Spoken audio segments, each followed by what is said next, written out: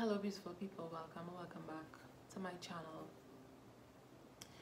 I've been contemplating uploading this footage for the longest while because of everything that's been happening. It, the energies has just been really heavy, it's been off and if you're not familiar with what I'm speaking about, uh, recently there was a kidnapping of a young woman she went missing about a week or so ago and there was a nationwide search for her. Uh, several persons, several different organizations went on a hunt to find this woman and she was found approximately a week later after she went missing and unfortunately she was already in an advanced state of decomposition and when I heard when I read the news article, when I saw the videos, when I heard people talking about it, I felt several emotions. At first I couldn't put a name to it, but now I know that it was hurt, it was pain, it was anger, just exhaustion from just being absolutely sick and tired of what's been going on in our country men men have this is nothing new. And it just seems to be getting worse. Men continue to treat women as even lesser than their property as worse than their property because they treat their cars their shoes their clothes their phones better than they treat women. And women continue to die at the hands of these men these nasty psychotic narcissistic demonic men. And it's it's just really sad and it's terrifying because I don't feel safe. And I'm sure a lot of women do not feel safe. So we need to stop policing women and we need to start policing men. We need to stop creating lists of things that women ought to do. Stop telling women that they should be home at a certain time wear certain clothing item or not wear something. Go this place with certain friends. Don't go by yourself. Don't post certain pics on social media. Why must we always be so reactive? Let's be proactive and talk to men and boys. Let's tell them how to respect women. Let's have some social reform.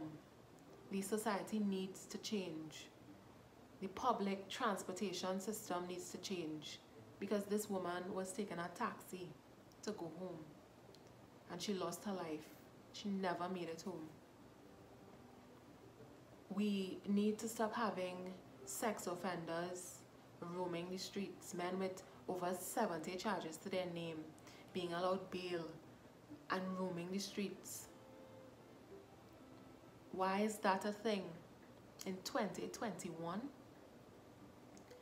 We need to make the sex offenders list updated and public so that everyone can have access to it.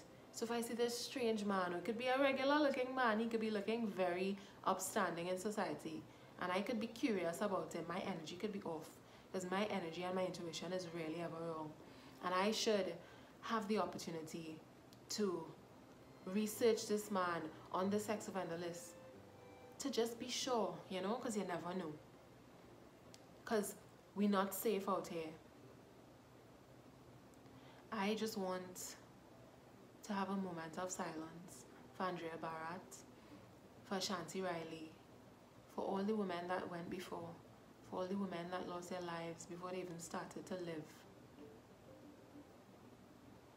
So let's just take a moment of silence to remember them, a moment to send light to their families that are still living and have to go through and live through this devastation.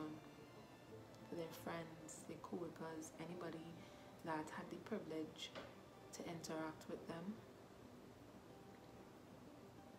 Just send light, send strength.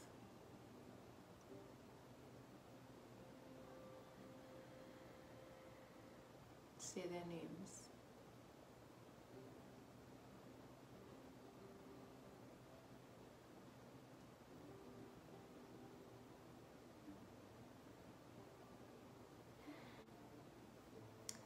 I started this channel with the intention of sending out positivity and light and I feel it's even more imperative now more so than ever that I continue to do so.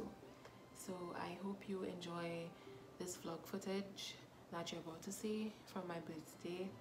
I have some more footage coming soon because I did have some time, I did spend some time in Tobago last week while I was on vacation.